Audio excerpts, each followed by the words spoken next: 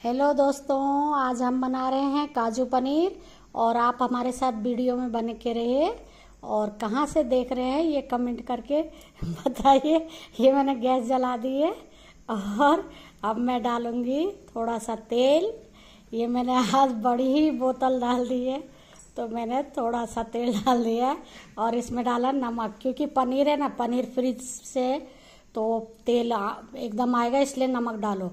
तो मैंने पनीर के डाल दिया। पनीर, पनीर डाल दिया। पनीर फ्रिज में रखा हुआ था ना इसीलिए नमक डाला पहले। तो ये पनीर डाल दिया मैंने। अब पनीर को मैं हल्का हल्का ब्राउन करूँगी।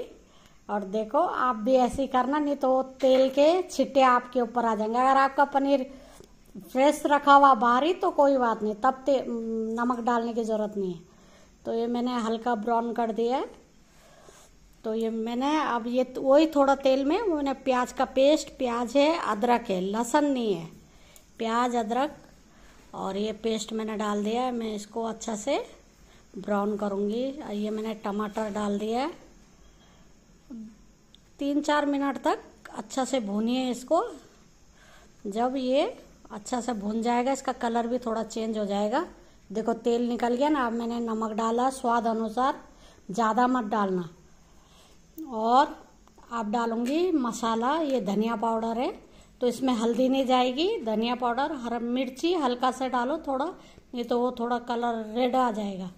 तो हल्का सा मिर्ची डाल दिया है, फिर इसको अच्छा से भूनेंगे और दो तीन मिनट अच्छे से चलाएँगे इसको। देखो, हमारा मसाला भून गया है, अब इसमें हम गर्म पानी डालेंगे। ठंडा पानी नहीं डालना, गर्म पानी डालना है, दो कप के तो अब मैंने इस उबल गया ये मसाला तो मैंने ये पनीर डाल दिया। है पनीर को भी अच्छा से पका देंगे। अब इसमें मैंने एक काजू का पेस्ट डाला है। काजू को भिगा दिया, फिर पीस दिए। अब काजू का पेस्ट डाले, बहुत टेस्टी सब्ज़ी होगी। आप इसे पराठे के साथ खाओ, रोटी के साथ खाओ। और देखो कितना अच्छा कलर आया है, एकदम। हल्दी मत डालना, एकदम सफ़ेद सफ़ेद एकदम होटल जैसा लगेगा आपको खाने में। तो ये मैंने डाल दिया है। अब ये दो मिनट ऐसे पकाएँगे। अब इसे बंद करके मैंने रख दिया अब ये खाने के लिए रेडी आप इसको खाइए इंजॉय करिए और कमेंट करके ज़रूर बताना कि आपको कैसा लगा मेरा काजू पनीर।